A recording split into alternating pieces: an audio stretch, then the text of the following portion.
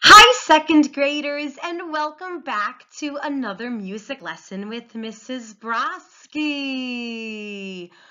All right, so we are working on the instruments of the orchestra, and actually, this lesson is the last time I'm really going to be teaching it to you, okay? It doesn't mean we're not going to be talking about it anymore. It just means that for actually going over the instruments in the orchestra and their families, today is really the last time we're going to be doing that, all right? So let's get started. Over the past few weeks, we have been learning about the orchestra. The photo that you just saw appear is a real live orchestra. Um, let's take note of a few different things going on in this photo. The first thing you should notice is the size of it. An orchestra is roughly 100 people. That is a lot of people playing instruments at the same time with rhythm, with precision to make this beautiful music that fills up these grand concert halls. The second thing you should notice is right in the center. There's a person standing there, right? And he has that special stick called the baton. We haven't talked about him or her in a few weeks. This is the conductor. The conductor is the leader of the orchestra. Remember, just like a conductor who rides a train, right? He's in charge of the train. Same basic idea for the orchestra. The conductor is the one who tells everyone how loud or soft, fast or slow, um, high or low, they need to play while they are playing their musical pieces, okay? Um, let's also take a look now at the four different families you'll notice that they are sitting in their own section. So you don't have all of the instruments just jumbled up, sit wherever you want to, right? There is an actual order to the orchestra. And no matter what orchestra you're going to go see in your lifetime, you're going to notice that they're pretty much all the same format. You have your strings, which is the largest section, all in the front, kind of curved around the conductor, right? You have from um, smallest to, great, uh, to biggest, you have your violins, your violas, your cellos, your double bass, and your harp. If you're not quite sure where the harp is, you can look kind of towards um, to wait, let me see. Um, I'm a little backwards on my screen over here, right? You can look over here to your left, um, all the way in that corner, you'll see some ladies. Uh, they are playing the harps over there, right? Now, in the very back of the orchestra, you'll notice the percussion family. Um, that's the smallest section, which is funny because some of them actually have the biggest instruments, like those big kettle drums, right? The timpani all the way in the back. Um, they're the smallest section because they're really the loudest. And there's only so many people that are able to really keep the rhythm in the orchestra, which is why the percussion family is kind of the smallest. In the middle, of course, you have your brass family and your woodwind family as well. In our next photo, you're going to see basically something very similar that we just saw, only it's more of a cartoon this time. And just like in our program, The Young Person's Guide to the Orchestra, you'll notice that they're color-coded seating sections. This makes it a little bit easier for our eyes to see, so we can visually kind of see where the families are.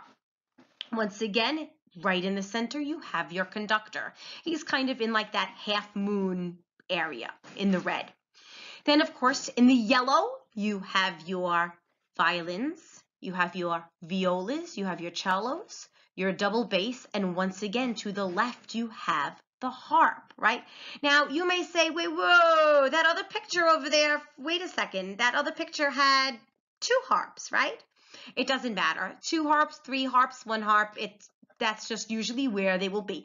Each orchestra is going to be a little bit different in that respect. They might not all have exactly 15 violins or 20 violas. It doesn't work like that. Whatever really the orchestra um, is able to accommodate, is able to have there.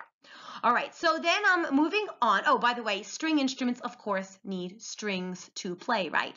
Either played by plucking it or bowing it, right? Arco and pizzicato from our Young Person's Guide to the Orchestra. In the middle, kind of in that orangey section, you have your woodwind family, like the piccolo and the flutes, the clarinets, the oboes, and the bassoons. Remember the woodwinds are the long, straight instruments. They have keys going up and down its side that you press to make different sounds, and most of them use at least one piece of wood in order to play, except for the piccolo and flutes, which is there basically just on shape alone. Um, the bassoons and the oboes, remember, have a double reed. The reed is that small piece of wood that they need to play the instruments. Um, let's take a look in the green section. We have the brass family. The brass family is made up of the French horns, the trumpets, the trombones, and the tuba. This is the very majestic sounding, like kings and queens are marching in their castle, right? Um, Remember that the brass family, of course, is made out of brass, which means my mouth is actually going to touch metal when I blow into this particular instrument. Um, they all have kind of a circular or oval shape to it as well and different parts, like the bell, which is the end of the instrument, right? And the valves. The valves are very important. They're a little bit different than the keys on the woodwind instruments. And just like the woodwind instruments, you do need to blow into them in order to make a sound. In my blue section on the top, you have your percussion instrument. These are the instruments that you bang, hit, scrape, shake in order to make a sound. Um, by themselves, most of them do not play a song. They are there solely to keep the rhythm. Now, all percussion families um, have different varieties of um, percussion instruments. Think about last week's lesson when I showed you my goodness, like 20 different percussion instruments, right? Not every single instrument is going to be used every single time. They're going to mix and match. Some songs are going to need different sound effects. Some songs are going to need something else. So they're going to use a different variety depending on the orchestra and the song that they are playing. This particular um, orchestra from left to right is has a xylophone, a gong. There's two different kinds of snare drums up there and the big giant kettle drums or timpanis. Remember, timpani is something I do not have in my classroom. It's so big, I don't even know how I would get it up to the fifth floor. The final instrument I want to talk to you a little bit about today is the piano. I have not had a chance to take you guys into the auditorium yet, so this is your job. Next time you guys see me in PS 81, I want you to say, hey, Mrs. Brosky, let's go into the auditorium and take a look at the piano, okay? Because I'm going to take you there and I'm going to open it up for you. I want you to take a look at the inside of the piano when we get there, okay? Because the piano is very special. A piano is not just part of one instrument family, it's part of two instrument families. I'm going to give you guys a couple of seconds to think about it. Which two families is it a part of? Bum bum bum bum bum bum bum bum bum bum bum bum ba da da da da. Give up, or you took a good guess. Either way, we can automatically eliminate anything you blow. You've never seen Mrs. Brosky blow into the piano or the keyboard to play it, right? So it's not going to be brass. It's not going to be woodwind, right? It is going to be percussion Think about it. When Mrs. Brosky is playing the keyboard in her classroom, right? I'm pressing down on the keys in order to get them to go. The same way I might strike a drum or maybe um, another kind of percussion instrument. The other instrument, which is kind of interesting, and you might not know this without looking inside a piano, is it's actually part of the string family. That's right. A piano, when I open it up, you're going to be like, whoa, look at all the strings. Each string right underneath it is a very small hammer. That's right, you heard me correctly. There's a hammer. And when I play the keys on the piano, that hammer, boom, it comes up and it bangs into the string. And the string v -v -v vibrates, right? And that is what's giving it its sound. Now, in my classroom, I don't have a piano. I have a keyboard. The keyboard's a little bit different because there are no strings. It's all electronic. I plug it into the wall and bang, good to go, right? But the piano is a little bit different, so I look forward to sharing that with you. Boys and girls, for the next few minutes, I'm going to put on a video. I found this video a few years ago, and I absolutely love it for three basic reasons. Number one, it's got to do with the instruments of the orchestra, which is what we're learning about right now, right? Um, the second thing is, yay, it has puppets, and I love puppets. And the third reason is, is because it's actually based on the Young Person's Guide to the Orchestra, which is the program we have been using. So boys and girls, I want you to please enjoy the next video. I'm actually going to step out so you don't see my face here in this little corner. I haven't quite figured out how to get me out of there yet, okay? So here we go. Enjoy. Today is the best day ever! Musical piece written by Benjamin Britten called The Young Person's Guide to the Orchestra. It teaches kids like me all about the different musical instrument families that are in the orchestra. So today, I'm at the Meyerson Symphony Center with my dad to hear the Dallas Symphony play The Young Person's Guide to the Orchestra. I've never seen a symphony or even a musical instrument before in real life. So like I said, today is the best day ever!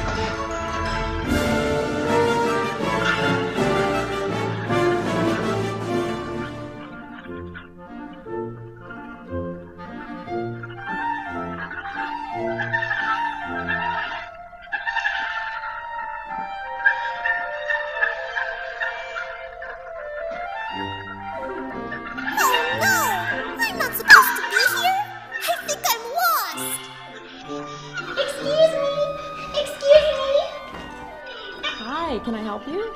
Hi, I'm lost. I'm lost. I'm Aaron. No, no, no, silly. My name is Leaky, and I'm lost. Oh, how can I help you get to where you need to be? Well, I'm here to hear Mr. Benjamin Britten's music. I know. You tell me where he is, then I'll know where I'm supposed to be. You are in a very special part of the Symphony Hall for all of us musicians and for Benjamin Britten's music. Really? Yes, Where? You're backstage at the Meyerson.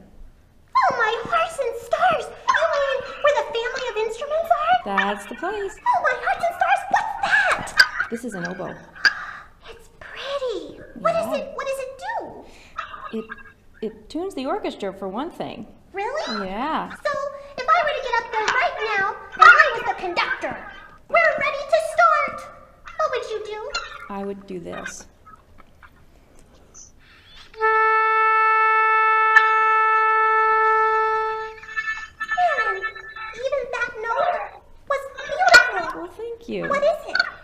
That's an A, Not a B? not a B, Not a F? not an F, Just an A? just an A. Wow. Yep, and that tunes the entire group of musicians. This is a woodwind instrument. You know what that means? Wood? Wood, yes, this is made out of wood.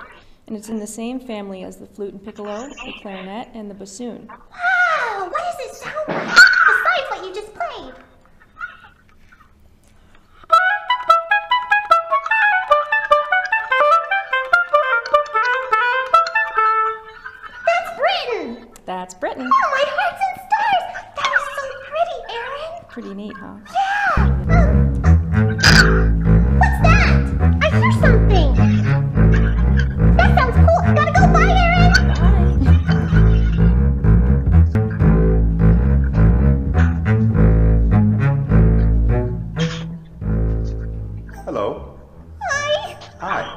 I'm.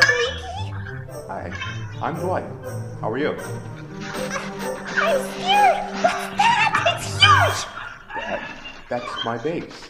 Oh, it's so big. Not to me. Really? No, It's huge to me. It's in a string family? absolutely.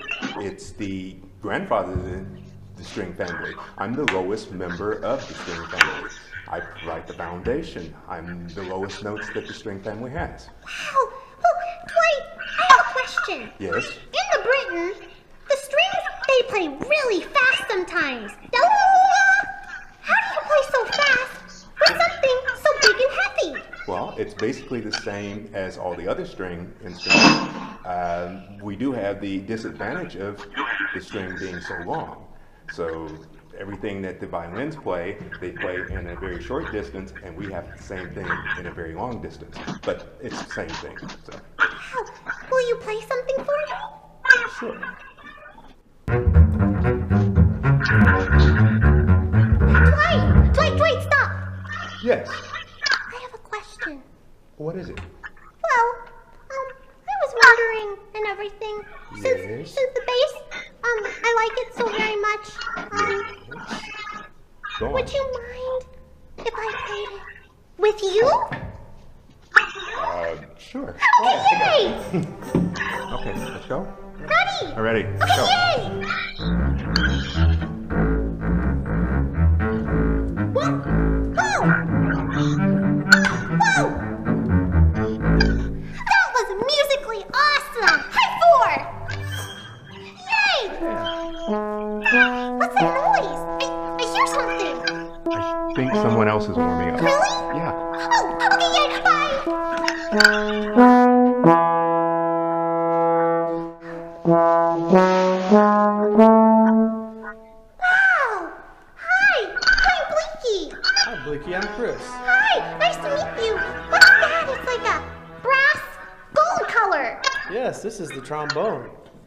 The members of the brass family. Really? What else is in the brass family? Well, let's see. We have the trumpets, the horn, the trombone, and the great big tuba. Wow, are all of those in the young person's guide? Yes, they are. Really? Yes. Yay! What's that? This here, Yeah. this is the slide. It's called the slide. It's how I change notes on my instrument.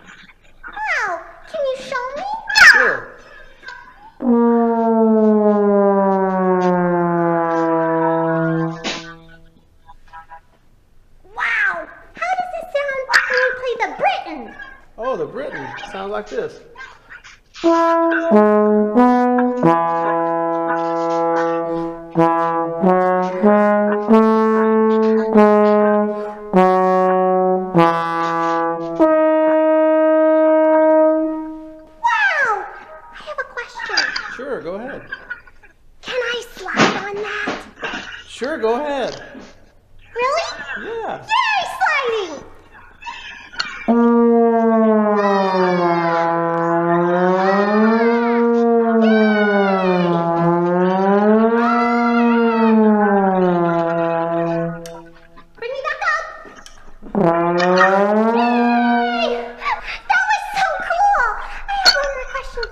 Okay. This trombone thing. Uh huh. Um, before, did you spit?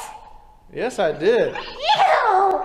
It's this piece here. It's a valve. It's called a spit valve. It's actually not spit that comes out. It's water. When I press it, it lets all the water out of my instrument. Wow! Uh-huh. Why do you think that?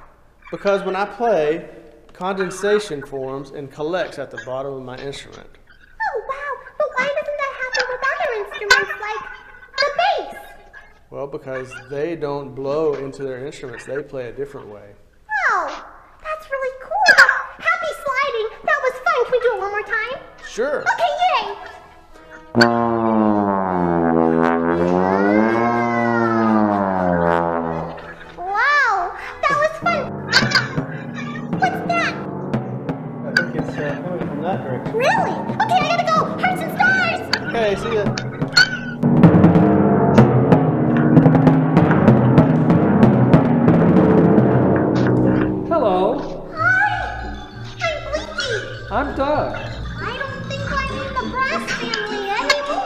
No, you're not. This is the percussion family. The percussion? Yes, percussion.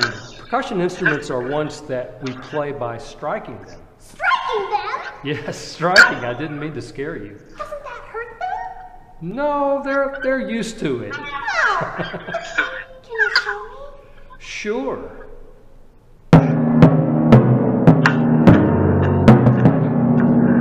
Boom! Boom! Boom. Funny! I love it! So what are those? These are special kind of drums called timpani. Are the timpanis in the young person's bag? Oh, yes, indeed they are. Really? In fact, the part that I was playing when you came up to see me is from the young person's guide. Oh, my hearts and stars, really? Really? That's so cool! Now we have other percussion instruments too. Do you have them? Oh yeah, there are thousands of percussion instruments, and they all are played by striking. I have one over here called the xylophone. Would you like to see it? I would love to! Yay! Let's go, Doug! Come around here and I'll show you. Okay. So this is the xylophone. Can you guess what it's made out of? What? Wood, that's correct. Yay! It's made out of wood, and the keys are arranged just like a piano keyboard. They are! They are. So you can play melodies like like this one.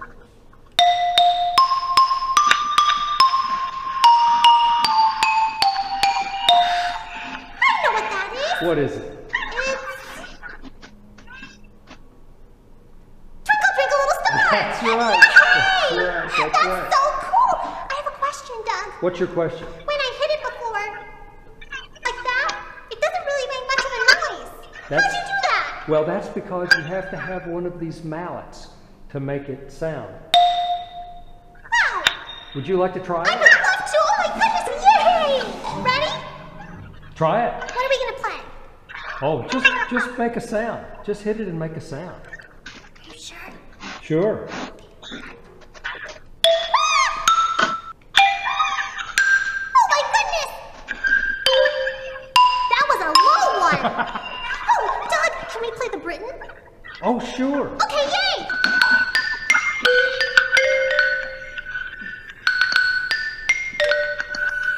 There we go. Was I good? That was great. Oh, yay! You know, Blinky, the concert's about to start. You better get to your seat. but that's the problem, Doug. I don't know where my seat is.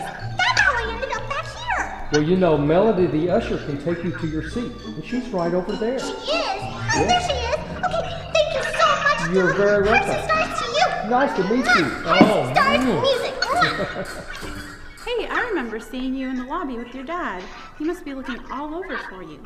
If you had just asked me for help in the first place, you wouldn't have had to wander all the way backstage. But, but if I hadn't come backstage, I wouldn't have gotten to make so many magical, musical memories. Well, now you're an official member of the GSA Kids Club, so here's a bracelet just for you. Oh, my hearts and stars! Yay! Yay! Come on, Melody. We have to go. I can't wait to hear the young person's guide. Yay!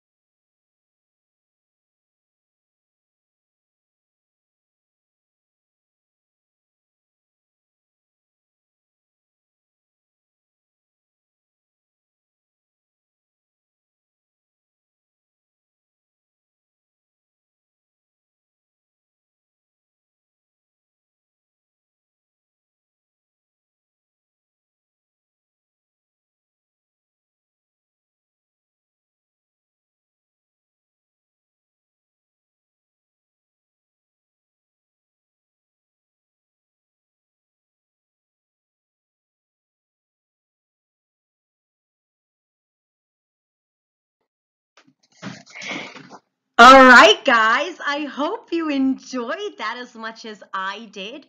Um, very, very simple homework for this week, okay? Just color the first four pages of your music instrument workbook. Um, the first, unfortunately, I did not bring a copy um, with me um, home. So I'm kind of doing this by memory, but you do have your four instrument families. Just color them, okay? And while you're coloring them, look at their names. Think about what makes them special and what makes them a part of that family.